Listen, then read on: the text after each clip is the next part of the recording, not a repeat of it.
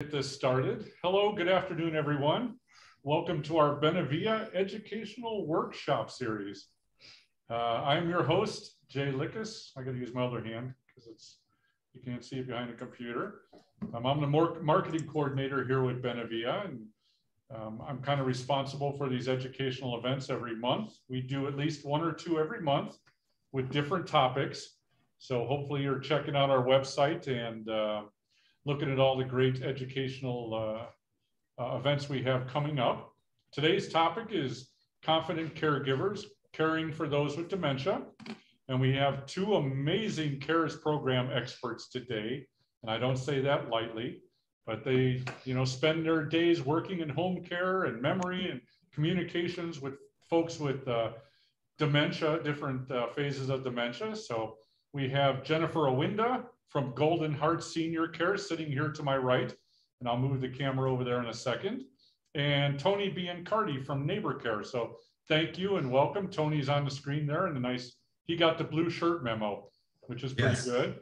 We're all set there. So they'll be sharing important tips and guidance on dealing with all the challenges, you know, the behaviors caused by memory loss and how to interpret some of these challenges and how to intervene in stressful situations. So um, we got an action-packed hour and a half here if we need to use the whole hour and a half.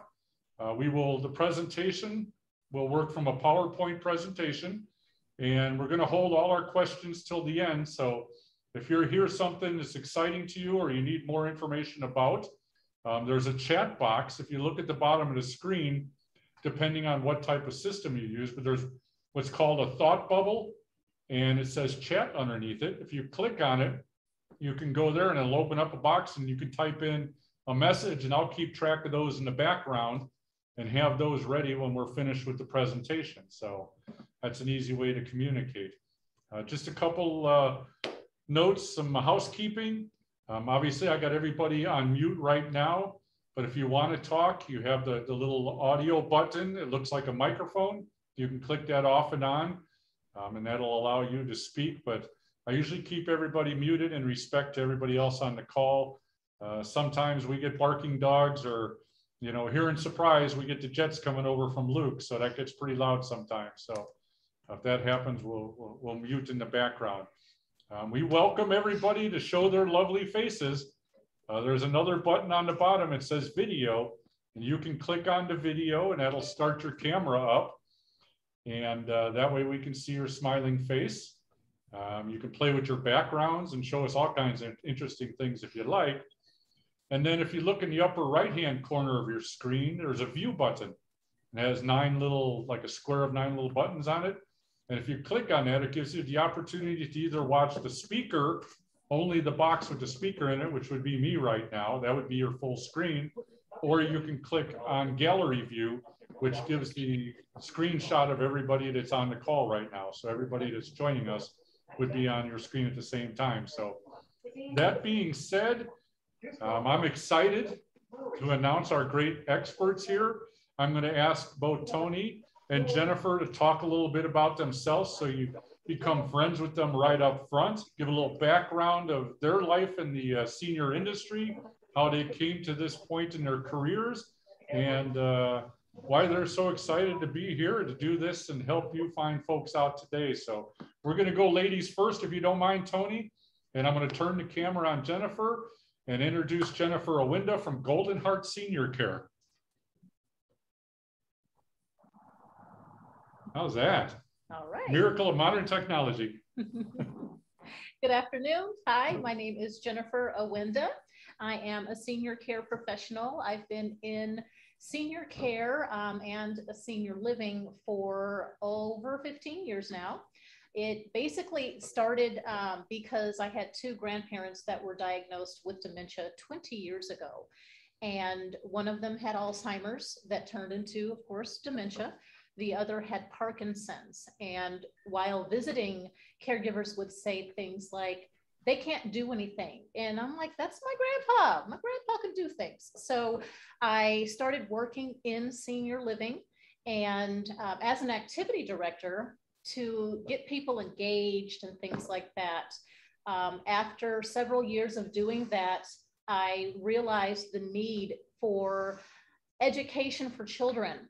So, being a published author already, I decided to begin writing and illustrating educational literature about dementia specifically for children. So, there could be some um, positive visits instead of you know grandma over here and the kids playing over there and there's no interaction so i have written and illustrated quite a few books now um, many of them for children i also am became a senior uh, living manager in several states. So, in the states of Oregon and Nevada and Arizona, I've managed several assisted living and memory care communities over the years. And um, well, I've done a whole lot of things, but being a dementia trainer, I became a dementia practitioner officially a few years ago. But I've been doing dementia trainings specifically um, for about 10 years now. Um, I'm also a YouTube content creator. I do YouTube videos talking about dementia so people can better understand. A lot of times when I would go into assisted living communities to do trainings for the caregivers and staff, um, information would go in one ear and out the other because there was so much information. So I decided to break every topic up into a different YouTube video. And um, well, my personal life, I'm a world traveler. I love gardening and I love birds. That's that's pretty much me. that's terrific. How, how are you gonna uh, how are you gonna be better than that, Tony? I, I was just gonna say, Jay, thanks. I'm sorry. can you can you uh, work with plants and stuff while you're world traveling?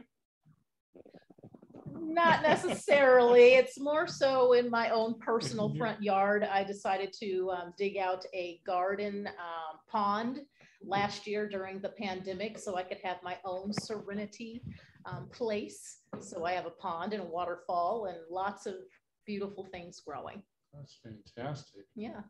All right, Mr. Uh, Tony Biancardi is the that owner. was impressive. Thank you, Jennifer. Care before I start, I'll say Jennifer is the one that developed the content, and I'm kind of going off of her slides. So I appreciate what she's been able to uh, provide for me. Um, I'm Tony Biancardi. I'm the owner of Neighbor Care. Um, I think I'm a senior, especially compared to Jennifer. So I, uh, I developed Neighbor Care kind of along the same premise in that I have uh, my mother had Alzheimer's, and my uh, she had passed two years ago, and my mother-in-law passed from complications of Alzheimer's, and that was about 10 years ago. And we went through a similar situation where uh, we were having a hard time finding uh, the care. We were having um, a hard time because the, the caregivers that would come in wouldn't last. Um, and as you know, most folks are not real receptive to having care in. So once you start to develop a relationship, it becomes such a distraction to have all of a sudden that person leave an agency and have somebody else come in and go through that process again. Um, so Neighbor Care is a, a, local organization. We're based just out in Sun City and Surprise, um, Western Peoria, and um, we cater more, we, we hire seniors to care for seniors. And that's kind of the premise behind our organization. Um, and uh, that's about it. It's been about four and a half years that we've been in business.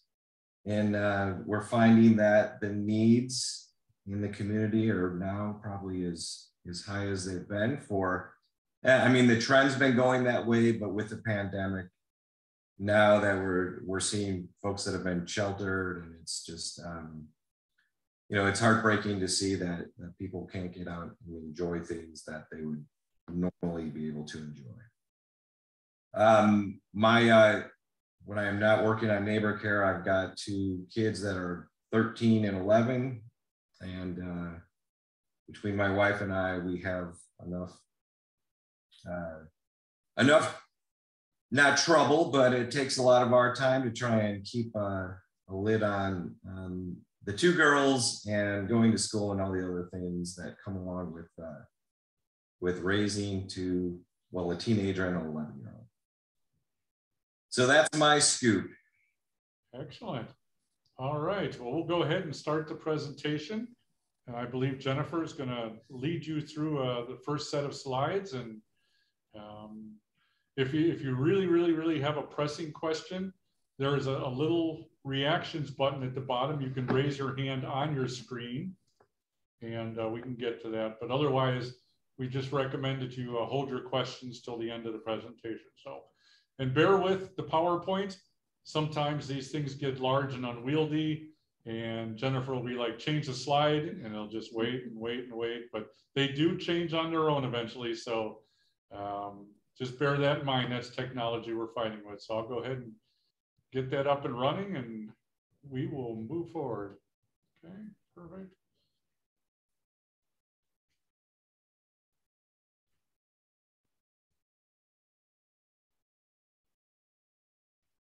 hopefully in a few seconds, you'll see the first slide come up. Tony, right. can you see that? I can't see the slide. I can just see that you're sharing a screen. Okay. Should take a few seconds to come up.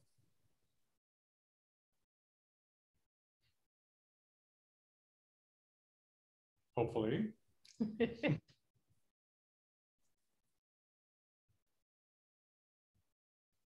you go.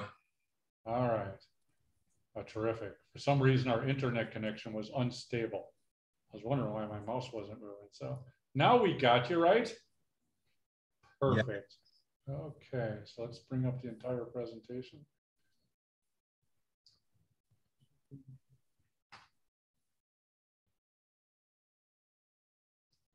How does that look? It looks great. Fantastic. All right. All right.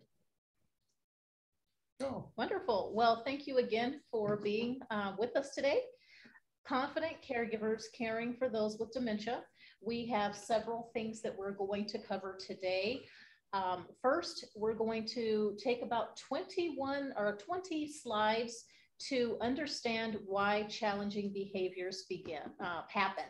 So, of course, we are going to break up since there's so many. We're going to break up um, according to each slide, different information. That way it's not too overwhelming. Um, so understanding why ch challenging behaviors happen, um, how to address those behaviors, communication tools, and person-centered care. So there are dozens upon dozens of reasons why challenging behaviors can happen. There can be personality changes. Uh, with dementia, of course, we're going to see those happen regardless. Sudden changes, though, please make sure if there is a sudden change of personality, uh, maybe someone isn't normally acting out and now they are all of a sudden, it could be an infection like a UTI or something else that is um, causing some of those behaviors. So if you see something different than what is normal, um, and I know there's not really a lot of normal anymore, but um, you'll definitely want to consult a physician to see if it's something that is treated with antibiotics. So personality changes, the apathy, um, communication problems. We see a lot of these things, unmet needs or pain, delusions, hallucinations, overstimulation, and just being overwhelmed uh, we're going to break up each of those different reasons um, for challenge, challenging behaviors, why they happen. And then we'll go to the next slide. Here are some more. Uh, more reasons, of course, someone who is bored to tears, it's quite possible that they're going to need some attention um, exhausted. If I'm if I'm totally exhausted, then I'm asked to do something. I'm probably going to have a behavior myself. So exhaustion definitely can cause behaviors. Approach if someone is approached um, the wrong way, that can also cause behaviors. Confusion, overall confusion, frustration, and sundowning. What exactly is sundowning? We'll get to that too. Oh, okay. We're going to actually elaborate on each one of these things. This is just a snapshot of the things that we're going to go over. So this is just understanding why they be, um, happen, but being told no. A lot of adults don't want to hear that. Um, being told you already said that, um, or maybe they're feeling trapped or restrained, loss of autonomy, feeling unintelligent, inflexibility sometimes on the part of the person providing care um, condescension, um, condescension. So feeling, you know, that someone's being spoken down to, arguing, bickering, that is always going to result in more challenging behaviors. Anxiety and agitation, distrust, fear, watching the news, and we're going to also go over the holidays because the holidays tend to be a lot for some people. So breaking these things down one by one, the personality changes. There are changes that are happening in the brain um, with someone who has a disease that is now progressing into dementia, or if they've already been diagnosed with dementia. Those changes are going to happen. But again, it's important to note if there is a sudden change, it could be an infection that is causing that sudden change, um, those sudden behaviors. Delirium is um, something that can be reversed, whereas dementia cannot. So for that person who is dehydrated, maybe they're or you know haven't they don't maybe their blood sugars off or something going on. Um, you know, medically, we want to make sure that a physician is involved, that we can get down to the root of the cause if it's a sudden change of behavior. But of course, personality changes are just going to happen with dementia. Write down the triggers though. If you notice this person always gets upset when you ask them to do a particular thing, or um, if a certain person is around, you know, or a dog. I know some people are afraid of dogs.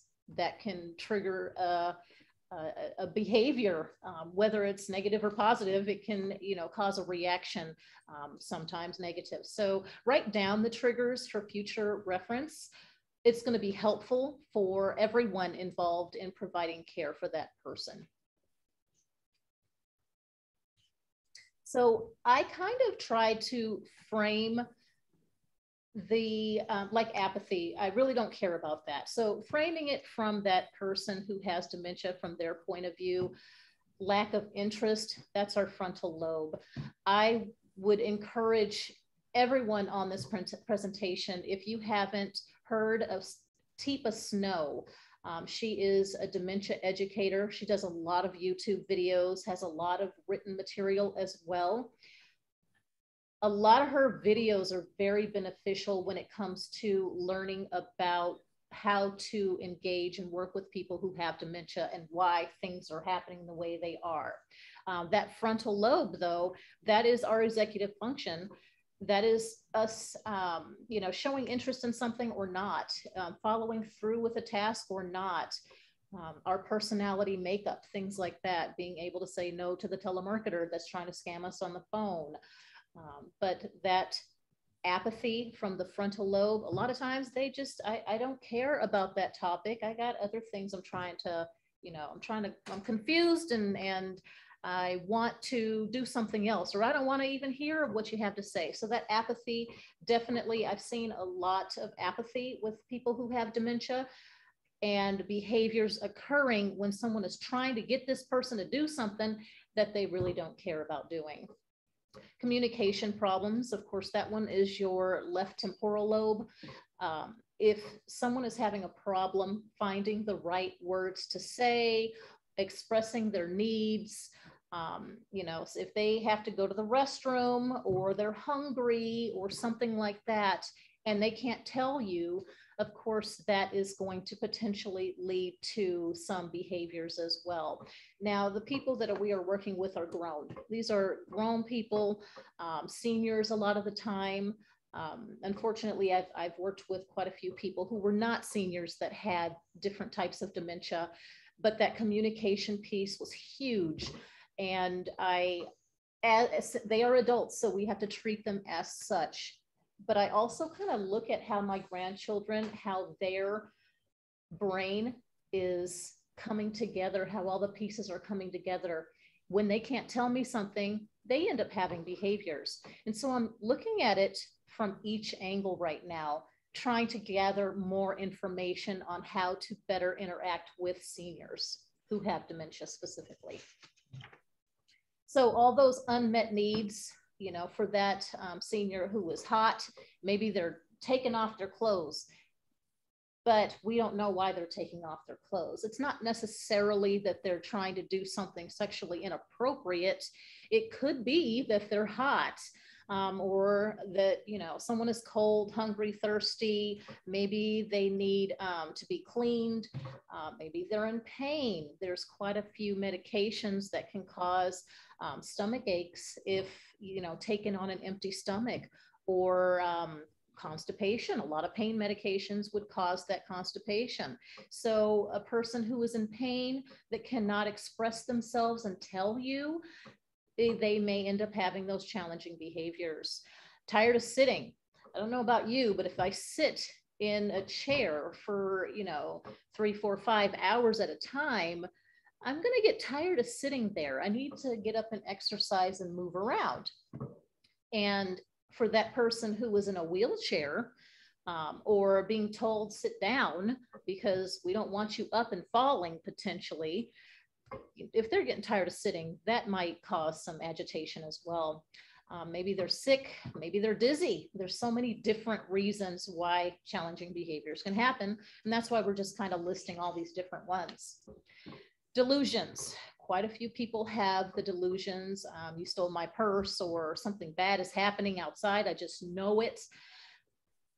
We cannot tell them that's not happening. This could be even a memory that they're having from 40, 50 years ago that they are reliving. So even though we know it's not happening, trying to get them to understand our point of view is not even um, worth trying anymore. It's it's validating their feelings, what is most important. If someone is having a delusion, hey, um, you know, I know something bad is happening, or I know you're stealing from me, it's better to validate their feelings and apologize. I cannot emphasize enough on apologies. I apologized hundreds of times in the past year just because it kind of diffuses a lot of tension. Um, but yeah, so validating their feelings, apologizing, even if it's not your fault, and uh, maybe saying, hey, I'll get some help. Uh, that could potentially help to alleviate some of the challenging behavior. Hallucinations, of course, I can't see someone's hallucination, but it is very real to that person. Some of the medications cause hallucinations. Um, we can't see it, but it's best to not say, there's nothing, there's no little boy on the, the roof. No one's going to fall off the roof. That person is seeing that. Just validate their feelings don't lie and say, I see the boy too. but you definitely want to validate. I'll get some help, remove them from whatever they're seeing, from whatever area that is. And um, hopefully, we can redirect the conversation into something else. But those hallucinations are definitely one of the reasons why challenging behaviors can happen. And from here, I'm going to turn it over to Tony. All right. There we go. We got, um, thanks, Jennifer. Two other understand uh, challenges are overstimulation and being overwhelmed. Um, with overstimulation, and that can be light, it can be people, it can be sound. Uh, the example I have is when my mother had some was in the late stages of dementia we had a family wedding and i remember my sister saying it would be great we've got to get mom to the venue it'll be great for her to get out and i said you've got to try and think of it in terms of how she's thinking she's going to be so overstimulated and taken from her comfort zone. And it's going to be hard to get her back into where she is feeling comfort. So, you know, I, I think that Jennifer brings up a great point in trying to understand where you're the person you're caring for, um, whomever has dementia, try and think of it in terms of what they're going through. And you might think from the outside, hey, this would be great, but something can be so overwhelming to somebody where you wouldn't think about that. You wouldn't think about the the sounds or even the bright lights would be overwhelming, but it certainly can be. Um, and when you have dementia, you're you're often embarrassed, you're afraid, you could be angry. You just you can't do those things that you were once able to do, and that leads to just a, a myriad of emotions. Um, all right, Jay, next slide.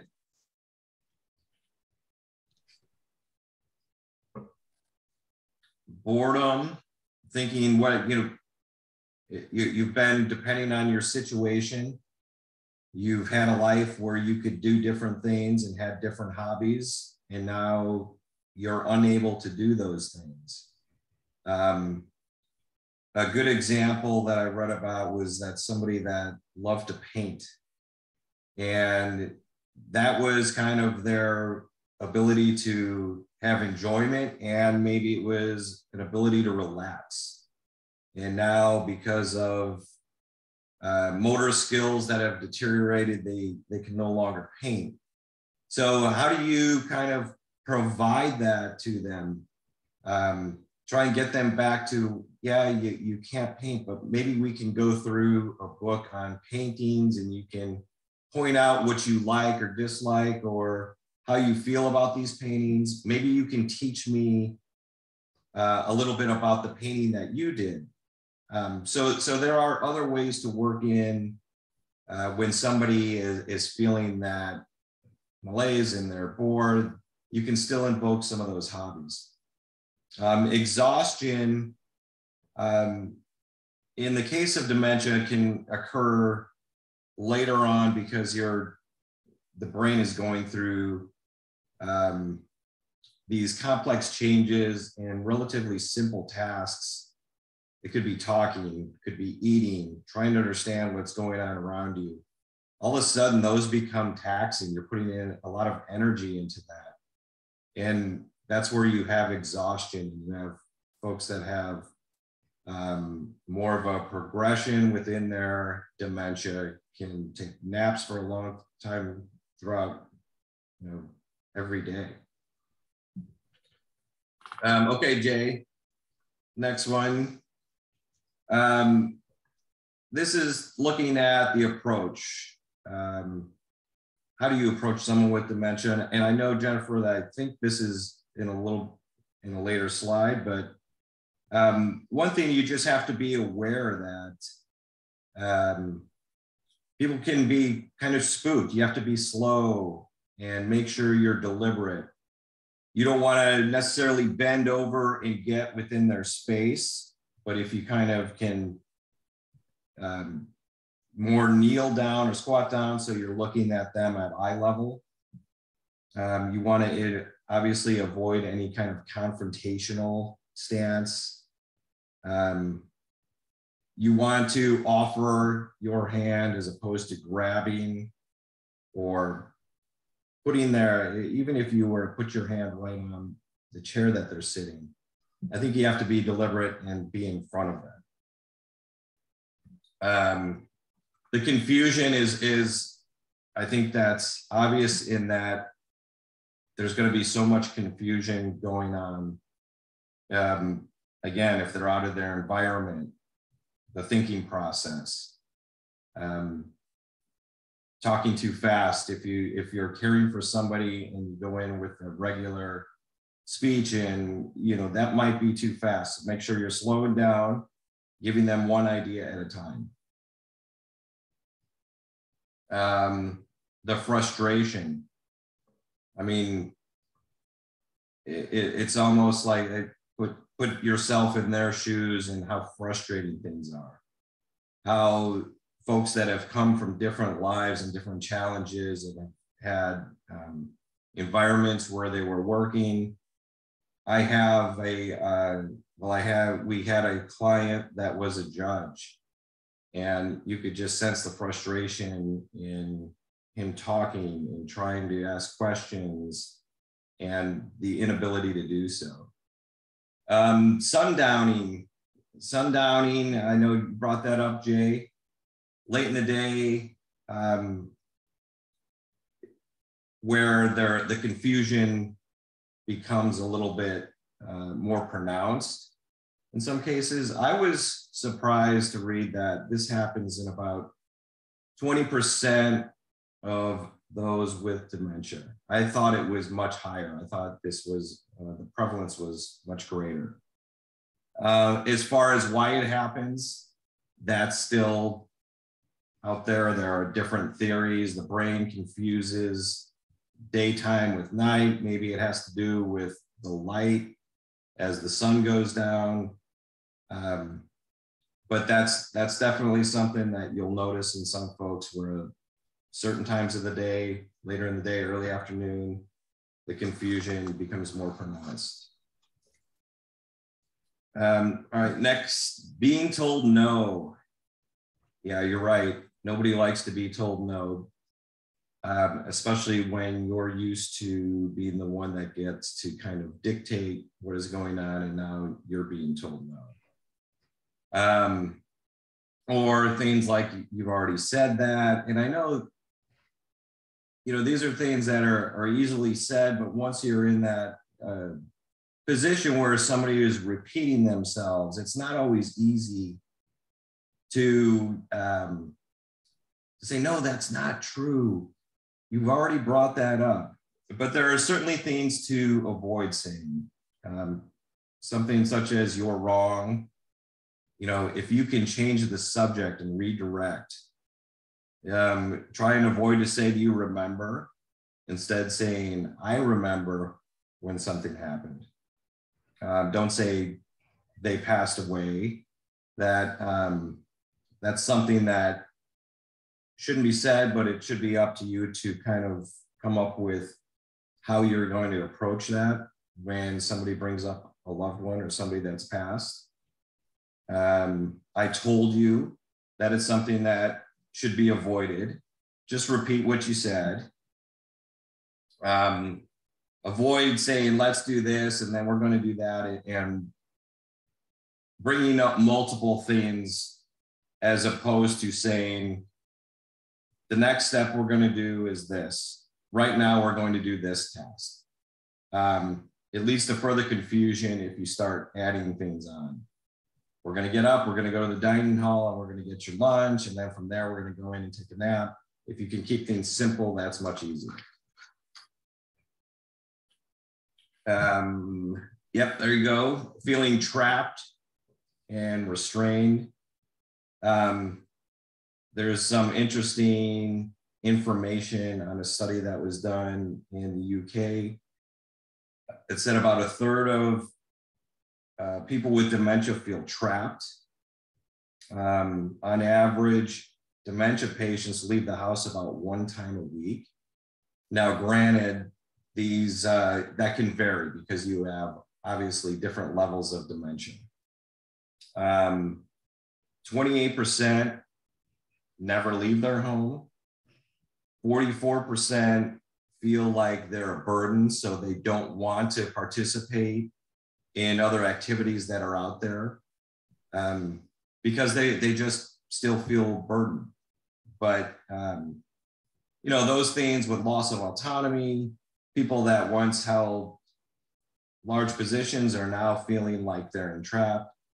It's always good to, and, you know, in Sun City and Surprise, there are a lot of resources available. So there are, are plenty of things to take advantage of to be able to get folks out of their home, um, at least while they have uh, the ability to really enjoy being in a different environment. Um, the next one is feeling unintelligent. Why can't I do this? Um, and then inflexibility. Why do we have to do it one way or another?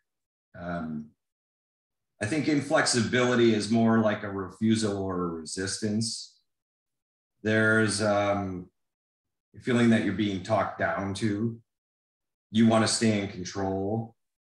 Um, there are different ways to to kind of phrase sentences to where you're not um, you know you don't tell somebody in a condescending way like jennifer brought up earlier um, being talked to that way folks lose a sense of pride and um, you know it, it might be that they're saying they i don't want to take my medication but uh, like Jennifer said earlier, that could be, there, there could be different reasons for that. Maybe they get some kind of side effect from the medication that they have a hard time explaining really what that side effect is. Um, I know certain medications cause bad heartburn, but sometimes it's hard to really explain what's going on inside. So that inflexibility can be, again, trying to really uncover what is the real issue.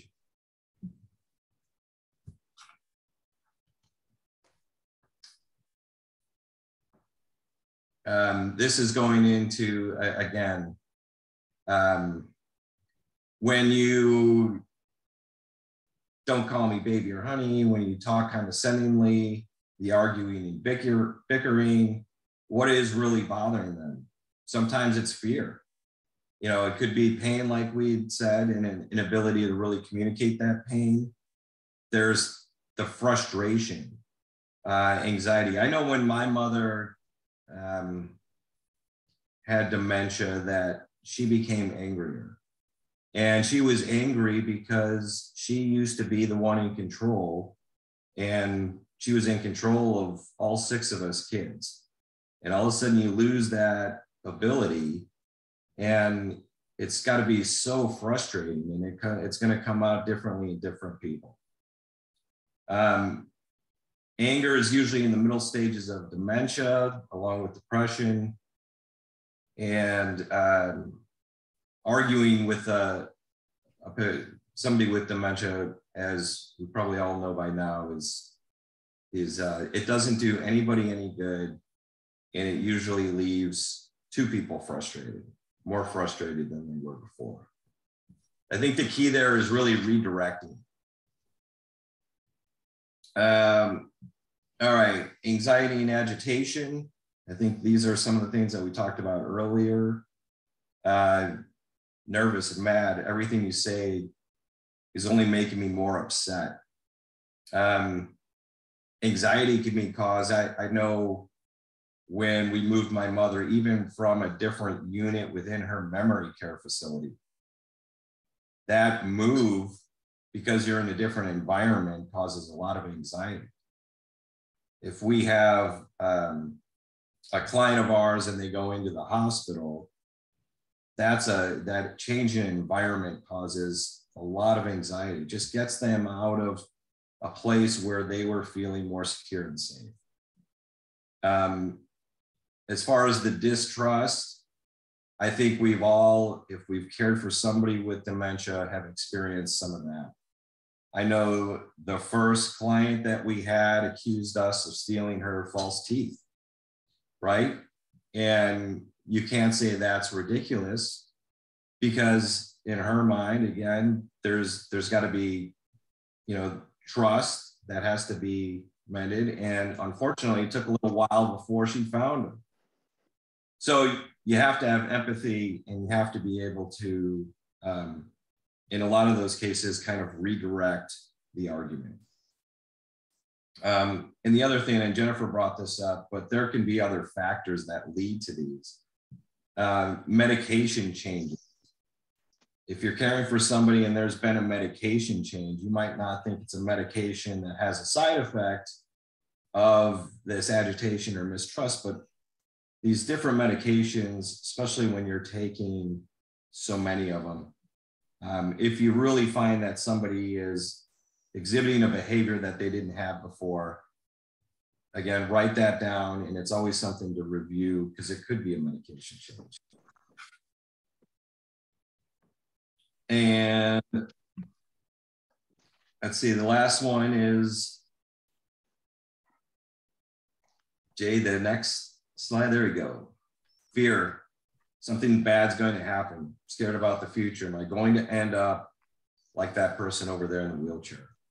I mean, uh, this is something that both my parents had always brought up. I don't want to end up like that. Um, you know, it's always good to explain that one thing is that care today is the best it's been, right? A lot of times, I think um, in my parents' case, they were looking at something that they had seen from years ago and they said, I don't want to end up in that situation.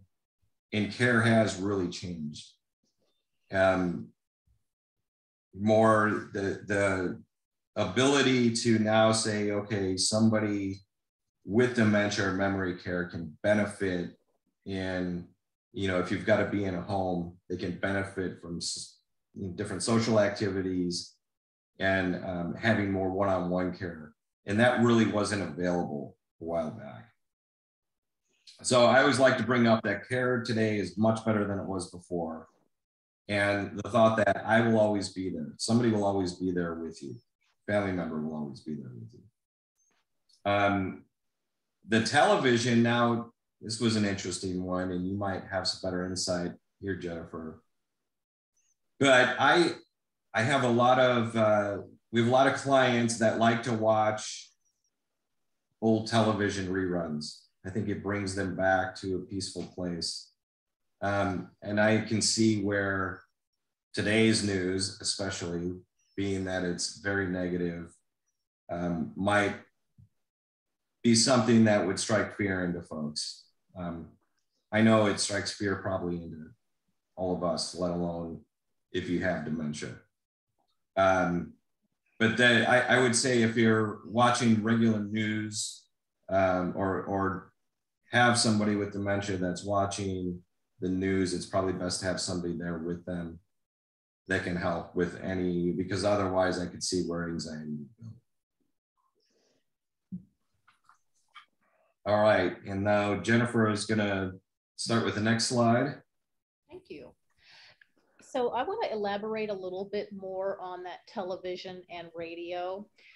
Some places have the overhead speakers um, throughout. Um, you know, you pick up the phone and you press a button. So some of the memory care communities, they can speak overhead. That if if you have some confusion going on, voices coming from wherever could definitely cause some additional fear, anxiety. Um, as for the television, I know quite a few people love to watch their news. But for that person that is, you know, watching CNN or whatever, and they're talking about the war in Syria or showing images, um, negative images, to try and differentiate if that's real from unreal when you have dementia, um, it could be a problem. So uh, last year, the, at the beginning of the global pandemic, pretty much every person on the planet, whether you had dementia or not, were in fear of some sort um, because we didn't know what to expect. All we knew was there were, you know, major problems happening around the world I can't imagine, I really, I can't imagine if I didn't understand that it's not happening right in my front yard, backyard. Um, I, I, don't, I don't, I, I had, I don't have dementia. So for them, it, it's gotta be even worse to hear about COVID and Corona and all the different, you know, seeing people with the masks on and not understanding why all of these things are happening. So when we have the television on um, with negative images. Um, reruns are great. You know what? I can watch MASH.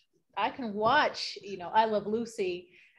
But for the television shows nowadays, the zombie apocalypse shows and, and things like that. It's very scary, even if you don't have dementia. I'm not a zombie horror type film person. So those things would frighten me. Even the commercials, it's Halloween right now. And so those commercials of the scary movies, even though it's only a 30 second commercial, that's a lot of information being taken in, uh, which leads us to our next slide. And it's talking about the holidays. Some people consider it the most wonderful time of the year.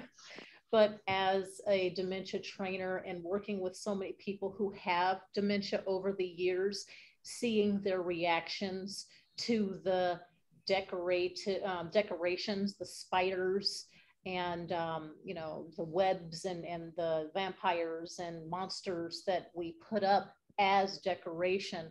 It's very scary if you can't differentiate the real from the unreal. Actually I, I read the news every morning because i want to keep up with what's going on. And this morning on the news it was talking about a particular house that decorates their front yard in a very very gory way and so gory that even the neighbors have called the police on them. A graveyard, you know, in, in someone's front yard, if, if I were to not understand what Halloween is anymore and that this is just, you know, um, theme stuff for Halloween, it can be very scary. And, you know, I remember going to Kenya and being, and I don't even have dementia. And here I, w- I went to Kenya and it was night when I arrived at a particular village, um, a homestead that I was going to. I went to a certain compound.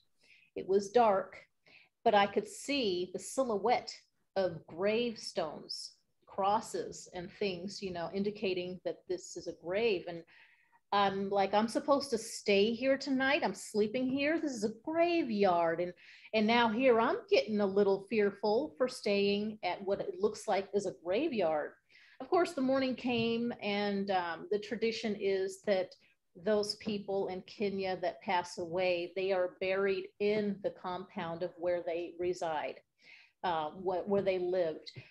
So for someone from that country, it's probably not as scary um, if they develop dementia. But for us in this country, we're not accustomed to living um, where people have been buried.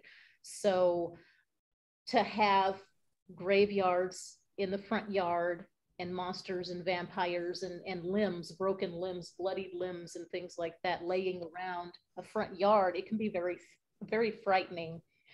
Thanksgiving. So that overstimulation is um, that that big plate of food. If if I was to give someone with dementia the traditional Thanksgiving plate with the turkey and the stuffing and the mashed potatoes and the, all that stuff, they would probably just get too confused. It's almost like going to a restaurant that has a hundred things on the menu, trying to determine what you want out of that hundred things. It's really hard. So too much overstimulation happens during Thanksgiving. Too many people in the house, um, just too much going on, too much holiday music. Maybe it's too loud, things like that. Um, Christmas, the flickering Christmas lights, if you've got issues, um, you know, with vision, which tends to happen with a lot of people who have dementia, then those flickering lights are going to be a problem potentially. The life-sized animated blow-up Santa Clauses and, and deer and things like that. The nativity scene out on the front yard. Um, I remember going to a dementia presentation years ago, and I was so thankful that they brought up the nativity scene that was on um, someone's front yard. And the person suffering dementia looks out the window and says, Someone's trying to break in. They couldn't differentiate that this is, you know, Christmas nativity scene. It's not real people. They what they saw, it was real to them that these are people alive who are going to try and break into our house. So being very cognizant of the decorations that we're putting up, how much we're putting up. Of course, um, Christmas, Thanksgiving, these things are traditions that we hold dear in this country.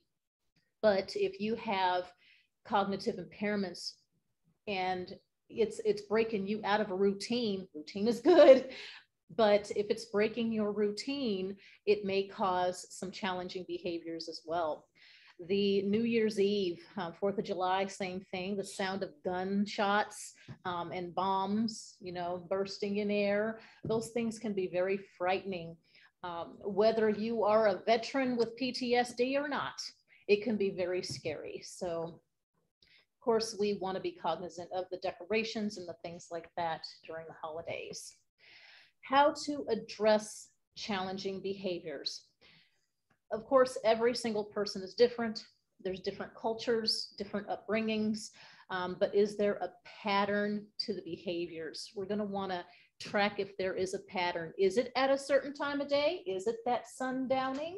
Or um, is it, you know, anytime, you know, this particular thing happens? Um, journal, journal the triggers. That's only going to be helpful for you in the future. It'll be helpful for other people as well so how to adjust those challenging behaviors you're going to want to maintain eye contact let them know that you're paying attention they're grieving for some reason they're upset listen to them make sure they know that you're paying attention to them. Make eye contact. Um, be mindful of the gestures that you make. Um, your body language that unspoken language speaks louder than words. This pointing is always bad whether um, a person has dementia or not, if I point, it's going to not be a good thing, right? Um, the thumbs up might be positive, but of course, in other countries, that means something else. Um, in this country, it's a it's a good thing, but know your audience. Of course, you're working with those people who have dementia, so you want to gather as much information about each person as possible. If you are um, working in a senior care facility or for a company versus if it's a loved one that you are taking care of. You probably know more information about that person. But your body language is very important. If I was sitting here like this the whole time, talking to you like this, it's not very welcoming. So we want to make sure that we are welcoming, that our body language is positive, we are maintaining eye contact. They know that we are interested in learning why they're upset and how we can help. So never argue. Um, we have to maintain a calm voice, avoid talking down to them or being condescending. Um, if I, if someone is upset and I start yelling back at them, of course, it's just going to potentially cause some problems. So, arguing, they're not going to be able to see it from your point of view, anyways.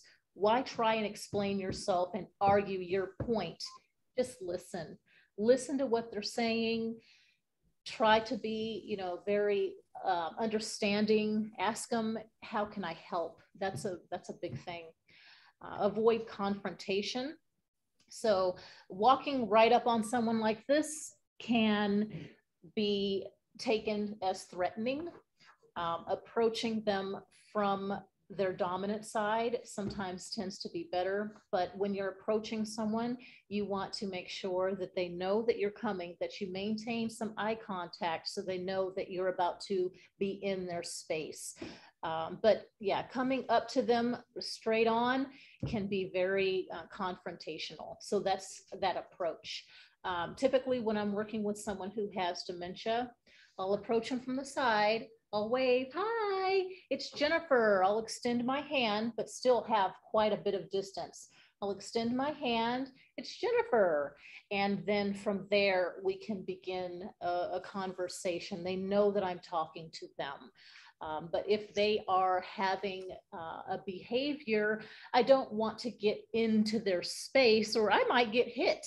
So um, be mindful of the way that you are approaching them and of course avoid confrontation.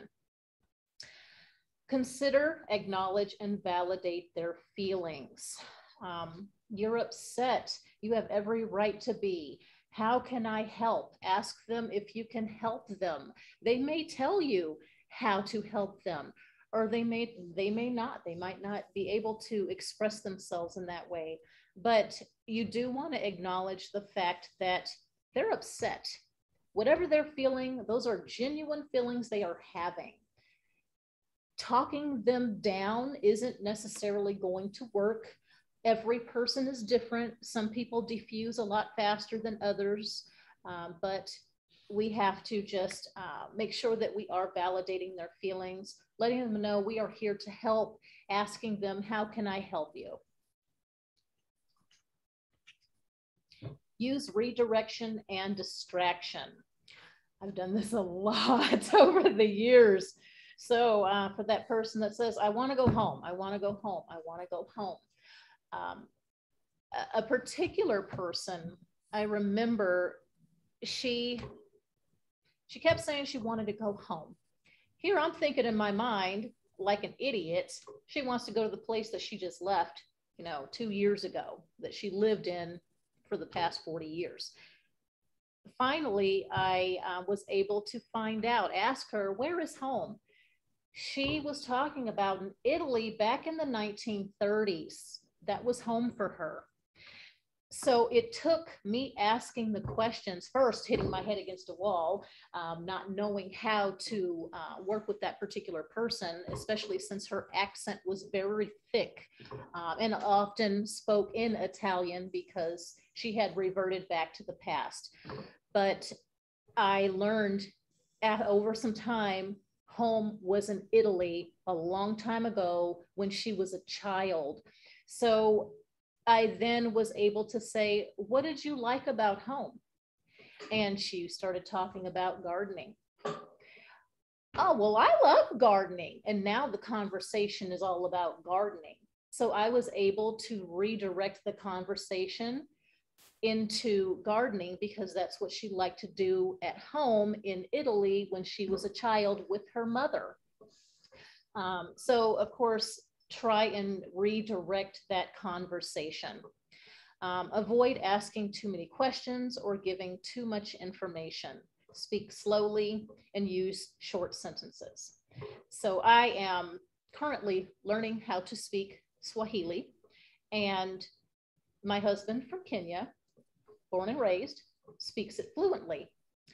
Sometimes he speaks it way too fast. I am not catching anything that he's saying. So I say he's swallowing Swahili.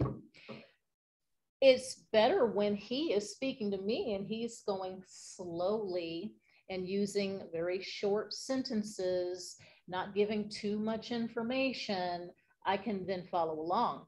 Now, of course, I don't have dementia, but for that person who does, if we're speaking really quickly, then how are they going to really follow along with what we're saying? so slow it down, uh, one step at a time, speaking slowly. Don't approach from behind or make sudden movements because it may be startling. If I um, sneak up on someone from behind and tap them on the shoulder, well, it's gonna, you know, make them jump a bit. It's most definitely easier to diffuse um, a situation that hasn't, you know, a, a someone who is not agitated, it's easier to work with them than it is to someone who's just yelling out of control. So how we approach people, how we are interacting with people on an every moment basis is going to potentially agitate them, um, you know, create a behavior or prevent a behavior. So of course we want to be cognizant of how we are approaching them, making sure that we don't make too many sudden movements. It's hard for a lot of people to, to follow along with what you're going. So if I'm doing this too quickly, um, it may startle them. Step away if they become violent. This is very, very important. You don't want to get a black eye because someone is upset. If a person is um, aggressive, uh, being violent, acting out in that type of a way, you're going to want to back away and maintain a safe distance. They probably need some space and time to diffuse a bit, to even if they're not doing breathing exercises, because normally they're not, but you need to. You need to step out of the, the situation and breathe for a few moments and approach it differently. So definitely don't put yourself in a situation where you're going to have to defend yourself physically. how to address challenging behaviors. So depending on the person and the situation, use comforting touch. Some people don't like touch.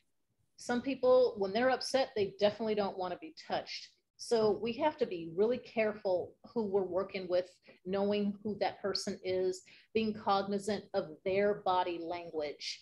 Um, if they withdraw, if they pull away at all, do not reach out and keep trying to touch them. Um, I've, I've witnessed a lot of things over the years, and just about everything is a training opportunity. So that person, that caregiver who reaches out to put their hand on someone's shoulder when they're upset, well, they're going to get their hand knocked off of that shoulder or something worse. Be careful, definitely, when it comes to touch. But some people really need that that touch, that that it's going to be okay. I'm, I'm right here for you. How can I help? Uh, so depending on the person, what the situation is, be very cognizant of their body language. Reasoning won't always work. So that frontal lobe is unfortunately deteriorating and they may not be aware of what is going on. They cannot see your point of view. I'm sure that many of you have witnessed someone getting really close up into someone else's face and not maintaining that safe distance. We have to uh, understand that their brains are not working the way that ours is. So we have to just, again, it, it just depends. Every person is different, but maybe they aren't even aware of what's going on anymore. Maybe they don't understand anymore that they have dementia at that early stage, people tend to be, you know, uh, I just don't understand what's going on. Why can't I remember? But then it gets to a point, normally, what I've seen over the years, it gets to a point where they're not even thinking about I can't remember anymore. Now it's it's it's tipped over that that that edge and they don't even, you know, have that ability to understand what's going on with them anymore. There's good and there's bad to that though. Patience is key. Give them some time and space. Knowing your audience is very important. Some people like to be alone more than being that social butterfly. Some people, though, they just need some peace and quiet, especially if there's been a lot going on throughout the day. Avoid lying to them. I, I know of therapeutic lying and I am myself am a culprit of having to do that from time to time. Um, it really depends on the person though. Some people will become very distrustful if you if you lie to them.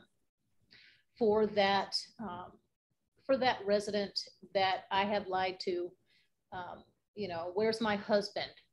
Where's my husband? Well, I know that that person passed away years ago, but this person with dementia, I'm not going to have them going through the grieving process all over again. I'm not going to tell them your husband died 20 years ago. There's no way I'm going to go there because that's just going to make them, you know, cry or upset. So, um, some people, though, at the stage of dementia they are, they're going to remember certain things if I tell someone, oh yeah, um, your, your loved one is coming to pick you up later, they may remember that. And they may in their mind somewhere know that that person died years ago. Somewhere in there, they may know and become distrustful of you. There's also, um, in addition to Teepa Snow in watching her videos, Naomi Feil is another um, dementia trainer, and she's been around for, I don't know, 30 or 40, 50 years doing dementia trainings. She has a lot of information, a lot of YouTube videos. I can suggest you definitely um, search her as well. Make eye contact. Call the person by name so they know. Oh, wait, hang on. Am I on the right one here? Oh, yes. Okay. Now we're going into communication tools. you're going to want to, of course, make eye contact, call the person by name so they know that you're speaking to them. If I just start talking like this and, and then I say Jay, then you're going to perk up. But if if I'm not making eye contact and having, um, and we're not right here together at the same time, they might not even know that you're speaking to them. So call the person by name, um, mind your tone of voice, ensure your voice is calm and positive and not too high pitched because some people have problems hearing that high pitched, especially if someone has a hearing loss uh, problem, then the deeper tones tend to be better for them to understand and hear. All right, and we are going to speak slowly and clearly.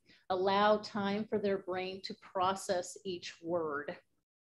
And that's gonna now turn it on over to Tony. Thank you, Jennifer. I want to throw something in here real quick and then we'll go over the last two slides. I'm gonna have you take the last two. Um, I think it's good to keep in mind that you, you hear all these things and, and Jennifer is an expert and it's, it is, um, it's a process. It's a process to learn and to kind of adapt these things. And it doesn't mean that you don't have uh, frustrating times where, you know, you're going to blurt out something or you get into an argument. And I know that because with my kids, I have one that has, um, she has some severe ADHD and you're never supposed to argue. It's supposed to be the same kind of approach, but you get worked up in the moment and, and you're just, you're going to go through that. So, um, you know, don't be hard on yourself if you feel like, hey, I haven't been this way or or maybe I should have done this. it's just it's a learning process and it takes time. And um, you know, and hearing from Jennifer, who has um, studied this and, and has it very well done, it's it's great to to learn from you. Um, all right, the next slide is communication tools uh, one step at a time instruction. I think we've we've spoken a little bit about that.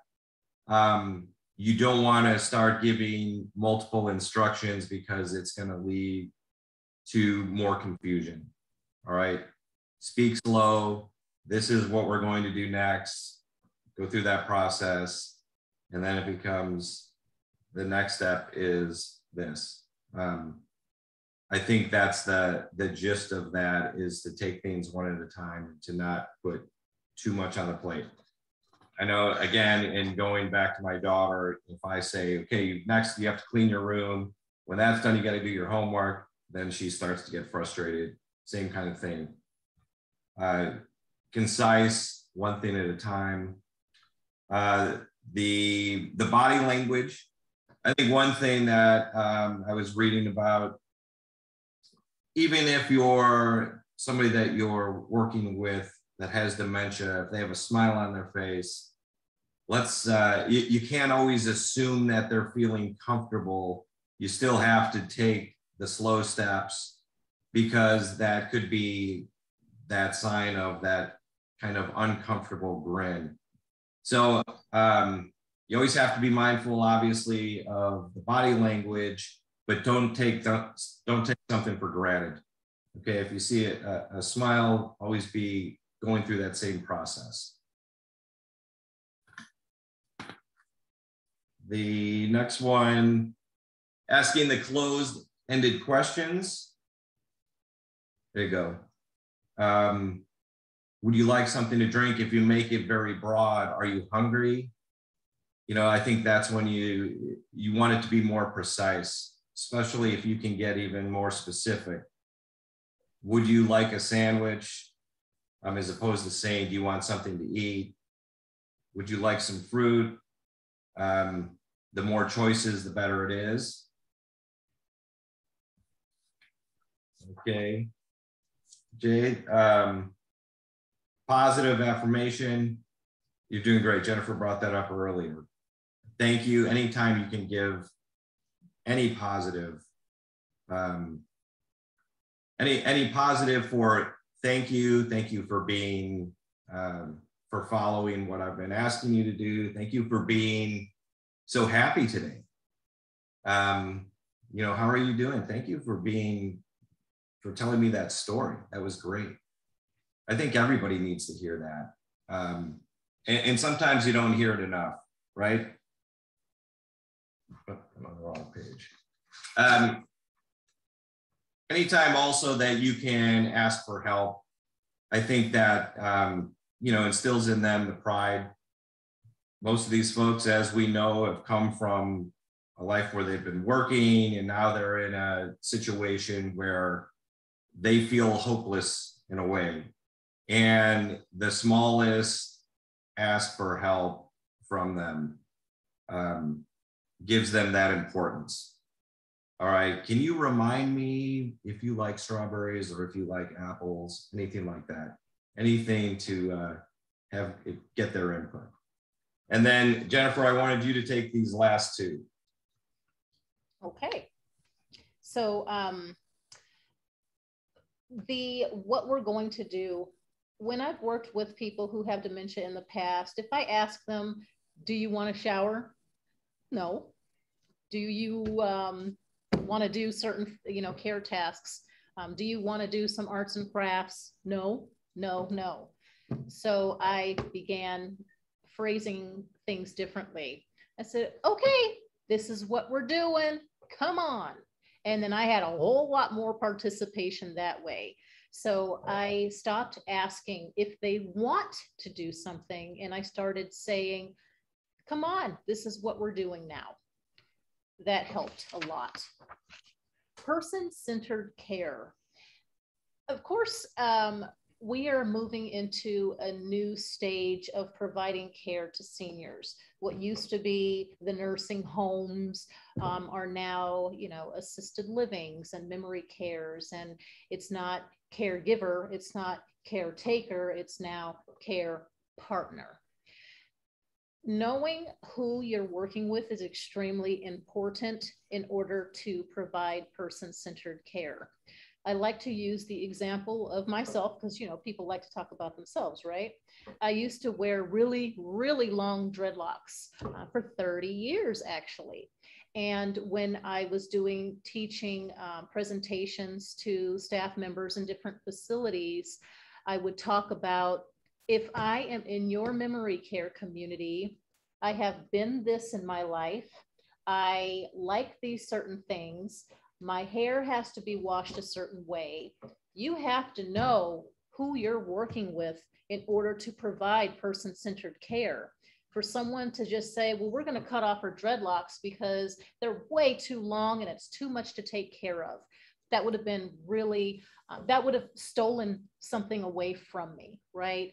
Um, understanding that everyone has a different cultural upbringing, um, whether you were born in this country or not, say, say you're born in the United States. Well, California is a whole lot different than Tennessee, which is a whole lot different than New Hampshire. The cultures are very different according to which area that you're from. So understanding that person as a person themselves, not as all these other people who have dementia over here.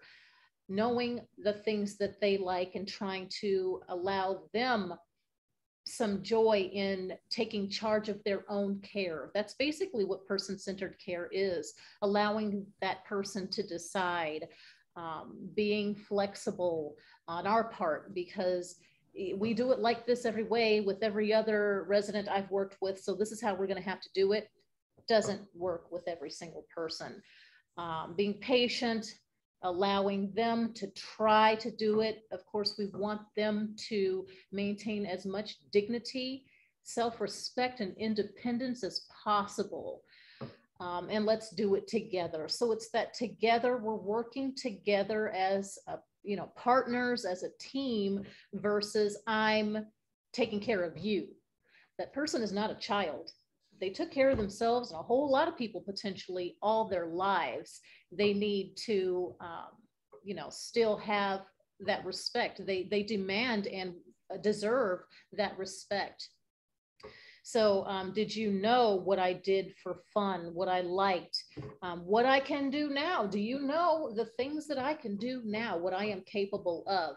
These things have to be modified as um, the disease progresses Um, do you know when I prefer to bathe and how I prefer to bathe? Some people are afraid of water. My grandmother specifically, she wasn't a person that got into the shower and had water hitting her head. She was a wash up at the sink um, or take a bath type of a person. Water hitting her head was not comfortable for her. So understanding that everyone has something different that they like, how they like to do it. That's basically your person centered care. Um, do you understand my spiritual beliefs? So, in some cultures, um, you know, the, the son or daughter cannot take care of their parent, the grandchild can. It just depends on that person, but you have to understand who that person is um, to know their cultural preferences, their spiritual beliefs. Uh, you know, if, if a person is a Jehovah's Witness, we're not going to celebrate their birthday. Um, and I know that that's hard for some people, but not for the Jehovah's Witness. And we have to be mindful of who we're working with. Um, I prefer my loved one to be here for a certain task. So um, before handling whatever um, assistance with activities of daily living, maybe their loved one, a certain person, is supposed to be in the room to help provide them some comfort. And that's basically your person centered care, treating them as an equal. So these are uh, a few tips for success. We hear all the time about diet and exercise. That's the best way, right? Diet and exercise, diet and exercise.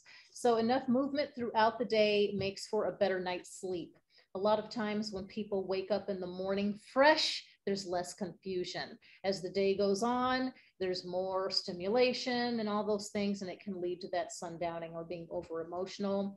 But it has been proven that exercise puts people in a better mood. So mood. So everyone should be getting some physical exercise. The underrated importance of activities, socialization, and routine diet and exercise, yes, extremely important, but we have to have something to look forward to and to live for. Food and movement is not the only things that help us to thrive as human beings.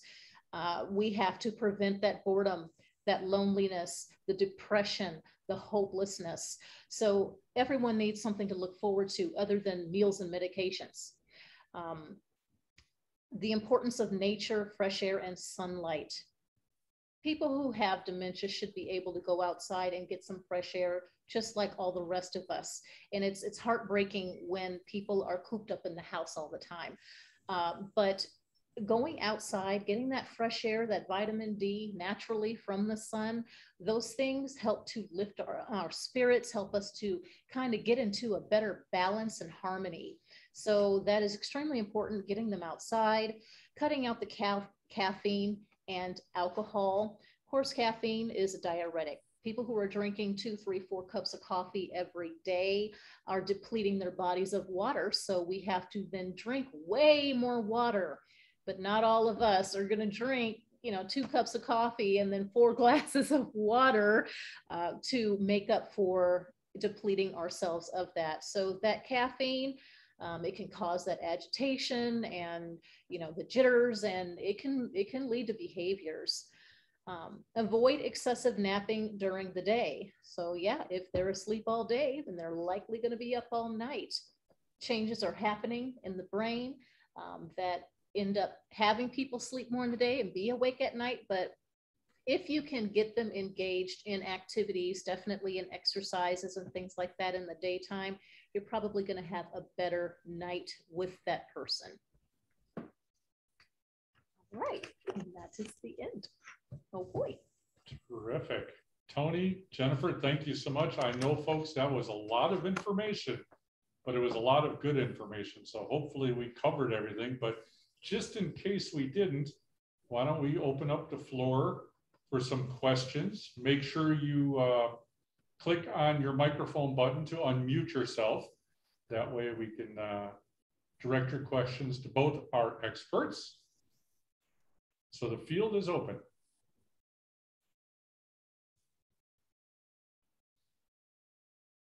Marty. Can you tell me some tips for traveling Um, my son in California wants my husband to come and see him or his family. And my husband says to me, I want to go and see my family before I die. So he really wants to go, but sometimes um, if I say, well, you know, we can't do it this way, he'll see Marty, you know, and he just yells at me. And I think it's going to be embarrassing on the airplane for him and me and other people. Um, do I attempt to do it anyhow and just trust the Lord or, you know, what do I do as far as traveling? All right, I can definitely chime in on some of that. Um, and Tony, of course, if you have more, please.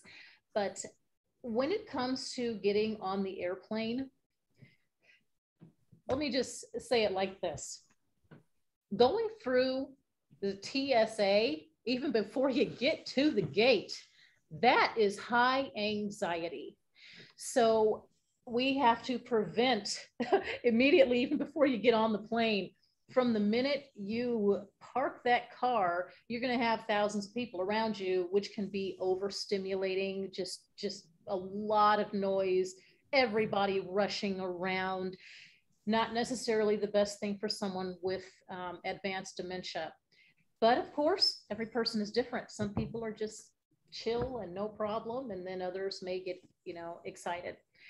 I if I were you and I was going to get on an airplane, I would probably have a bunch of little cards made up that says, I'm traveling with this person's name.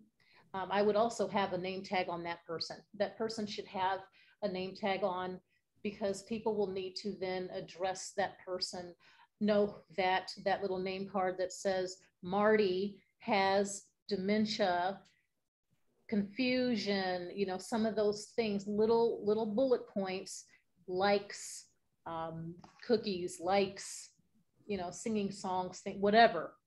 Um, it has to be tailored specific to that person, of course, but you can hand that to the person at the TSA before you even get to putting everything on that conveyor belt and all of that. The person who is checking your ID and your ticket I would give them that card and say, um, you know, I, I, need you to pass this along. So that way, that before you even get towards emptying out the laptop and taking off your shoes and all that stuff, um, at least the people there that are scanning people don't try and frisk your loved one because if he comes through, they may have to pat him down somewhere and then it could potentially be a problem but I'd have a bunch of those cards. I would hand those to anyone that you are coming in contact with, the person that is at the gate, um, the stewardess, I'm sorry, flight attendants, still back in the days, right? Um, the flight attendants, I would hand them that as well. I would also have some um, things that they could potentially do while they're on the airplane and even the people around you might need one of those little cards so they don't get agitated when your loved one decides to take off his mask. Things like that can be a problem nowadays with COVID, right? We see a lot of stuff going on out there. Um, it, it's going to be challenging either way because there are so many people. It's it's anxiety ridden for even us. So um, definitely use those cue cards, but make sure everyone is aware, whoever you're coming in contact with, have some things that that person can do. Hopefully there's some music and he can have some earphones on. Um, speak with your physician about the Benadryl because you don't want them to get nauseous. Um, maybe some gum to chew to help with the ears popping um, once you get to a certain elevation um, and descending, things like that. Thank you. Tony, can you chime in? Yeah, that's a good question, Marty. Um, and I think a lot of it would depend on where your husband is, uh, as far as what stage. I know with my mother, it was um, it became too difficult for her to be to get on an airplane. Um, but those are that's that's a, a tough situation. Okay, well, I, I have to, yeah. I have to explain to my family, and um, Jennifer, you've helped when talking about all the people around. I never thought of that. When we get to their home, I, you know, I said, well, you know, how many people are going to be there? You know, I think that, you know, I was reading today and they were talking about how much all the food on the table might overwhelm people. So there's lots of things to think about. So I appreciate your insight and especially those little cards.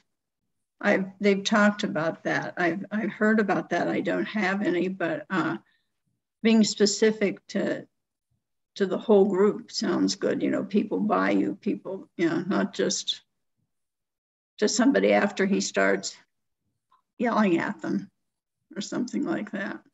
Give it before. One of those fast pass members or whatever it's called. Yes. have to go through TSA um, and do the online check-in. That'll definitely be helpful.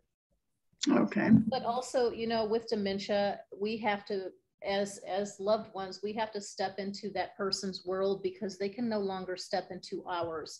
So, you know, maybe it's um, family that's coming to visit him mm-hmm. versus him getting on an airplane and potentially having, you know, a lot of issues due to the traveling. Right. Even once you're there to go into a different bedroom and you, you know, waking up confused, uh, that's another issue that we had. You, um, yeah. I know in my experience, and again, that's going to change with everybody, but uh, taking them out of their comfort zone was always something that it seemed like it took a little while to get back to that that level. Thank you for the information, both of you. Well, thank you, Marty, for joining us. Uh, does anybody else have some questions for Jennifer and Tony? Eileen, I see you're unmuted. Did you have a question? You know, um, I'm unmuted. I'm Georgianne. And I was going to say, I just traveled with my parents. My mom is moderate uh, Alzheimer's. And um, simply having another person was helpful. So my dad was the primary caregiver, but with me being there as well, maneuvering through the airport was easier just having an extra person. But I also want to mention in traveling, she became very confused once we got to the new location. So I too would really wonder if the visit might be better if the son could come to your location, if possible. I know it might not be.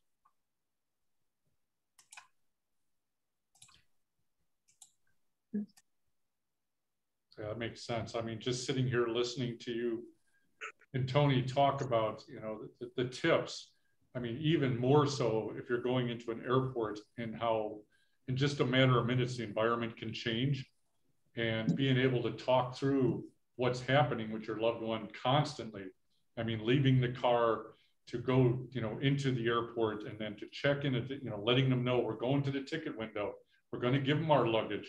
Now we're going to go to the gate and go up an escalator. I mean, being constantly almost like a tour guide in the airport. Mm-hmm. I mean, it, it, can be, I can see how frightful it could be because, you know, from the time you step into the terminal the time you get to the boarding area, you've gone through 30 different environments. Yeah. It's uh, very scary. Any, I just had a. Go ahead, Marty. No, I just had a friend who traveled and she was delayed on the tarmac and she, you know, had to come back. The flight was canceled. And I said to my husband, What would you do if we had to sit there for two hours? He said, I'd sleep. Well, he might and he might not, but you know, so I don't know if he would or not. But I mean, I travel in a wheelchair and then he would need a wheelchair. So I told my family, I said, I can hardly take care of myself at an airport in a wheelchair. I don't know how we could do that. So I'm just giving them little tips on, you know, as I'm contemplating whether to do this and see what they have to say. So, yeah. and I'm so I'm so glad. Uh, I think it was Georgianne who chimed in. Um, I'm so glad that you said all that you did that you had another person there to assist because mm-hmm. if it's just you and that person who is confused and you got to go to the bathroom or you you start getting sick. Something you just never know. You can't leave that person alone. You can't pull that person into the restroom and think they're going to be okay. So I'm, I'm glad that you brought another person along with you. Good idea. Thank you. Not to throw any doom and gloom in the conversation, but just a week ago, um, we were a casualty of the Southwest cancellations. And what we thought was a simple trip back on a, a Sunday night turned out to be three days stranded in San Antonio. Mm-hmm. I, I can oh. imagine doing that with a loved one with dementia. Yeah. I, I've also heard, and I just heard this today, that there are airlines that are going to be um, I don't know if it would be a strike, but there it's going to cause some delays around the Thanksgiving, which is always the busiest time to travel. Right. So I, I mean, traveling that time of year causes anxiety amongst probably all of us. Uh, let them, let alone when uh, you know you have other things to be worried about. I had friends tell me that they would take they were leaving on th- the day after Thanksgiving, and they said, "Why don't you let us take you to the airport when we go?" I thought, well, that might work, you know, that they would take us, and but I don't, you know, lots to lots to pray about, lots to think about. So, sure. thank you, though. That's true. You've all had words of wisdom. Thank you. Well, what's even better, Marty, is you know, once this call's over, you still have two very familiar resources now in Jennifer and Tony that you can call and talk to. So I'm sure more Absolutely. questions will come up as it, you know, gets closer to the holidays. Yeah. yeah. Were there any questions on the chat? On the um, little... There was just one question in the chat box. Somebody had asked what the author's name was. And I think that was likening back to your earlier discussion. You had mentioned Teepa Snow. Oh, yes. So Teepa Snow does a lot of dementia videos. Um, T E E P A and snow like like falling snow. Definitely YouTube search her videos. She's fantastic. She often comes to the Phoenix area to do presentations as well. I've had the chance to see her um, in person quite a few times, uh, but she's just a wealth of knowledge. Um, it's it's very helpful, you know. Well, can you also uh, provide Naomi's last name? You'd mentioned her. F E I L. I believe it's F E I L. Yeah. I'm gonna Google it really quickly. Naomi. Very quickly. That's cool.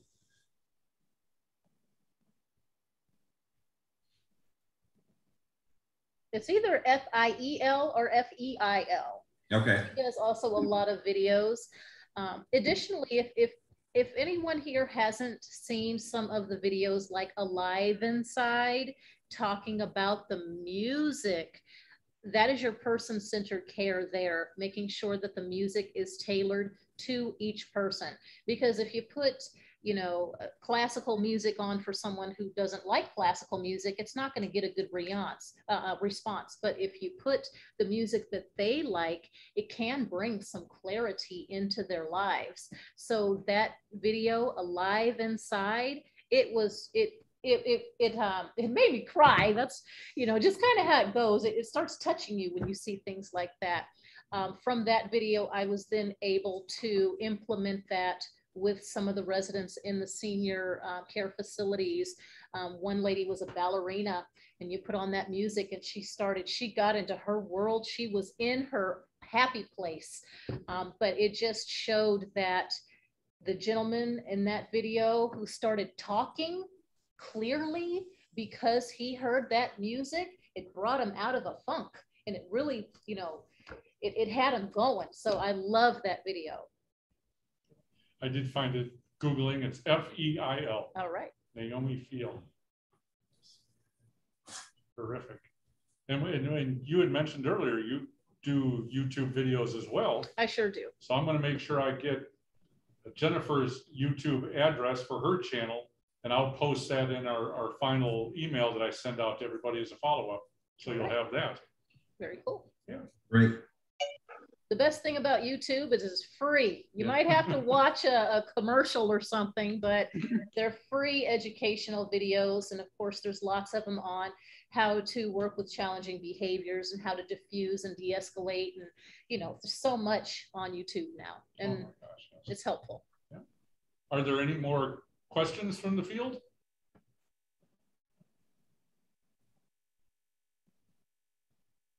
All right. One of, one of the, the positives of the pandemic we talked about earlier is whenever we ask a question on uh, Zoom, you have to wait. You know, re, you know, face to face, it's like, okay, I can tell there's no more questions. On Zoom, you got to wait 10 to 15 seconds because folks are trying to unmute themselves or figure out how to talk. So, but it doesn't sound like it. Uh, Marty, did you have any other words? I noticed you had. Nope. No. All right. Well, speaking of YouTube, that's a great segue for me. Um, I just want to thank Tony and Jennifer for being here today. Tony B and Biancardi with NeighborCare, Jennifer Awinda with Golden Heart Senior Care. Thank you so very much. Um, we have recorded this presentation. So when it's done, I will do some editing to take most of my stuff out of there and just have the good parts for you. But we will post that on the YouTube channel. Benevilla has a channel strictly for their educational workshops. So you can go back and watch this at your convenience if you have questions, or you can look at any of our other educational events we've had probably in the last two years since we started posting those up. Um, I will send a follow-up email to everybody with the link for YouTube. And I, I, beg your forgiveness, but I'm going to throw a short, a short survey into that. Uh, so we can always make our presentations a little bit better every time. And if you have any comments on the speakers or what we can do in the future, please feel free to add those to it. Uh, we love learning, you know, from you and learning more from our community. So um, that being said, our next educational event is going to be October 26th. Next week, we have a, a financial um, workshop on getting your affairs in order. So that's going to be very interesting. That'll be next uh, Tuesday, I believe. 26, sounds right. And then just be on the lookout for information for our upcoming Caregiver Connect event, November 30th. That will also be a live um, uh, um, video production. With we're working with the city of Peoria, so it'll be live on Facebook. It'll be live on TV in Peoria and in the West Valley. And we've got some great presenters for that as well. All this information, obviously, is on our uh, Benevilla website, just benevilla.org. And I always end every conversation I have is if you have any questions, you don't know where to turn, or you just want to ask a question, call Benevilla. We've got the resources like Tony and Jennifer and many more folks we work with that are experts out there to help you. 623 584 4999. So you've got a place to turn. With that being said, thank you so much, Jennifer. Thank and you. thank you, Tony. You guys were fabulous. Thank you, everybody, for joining us today. Have a great afternoon and be safe. Bye. Thank you.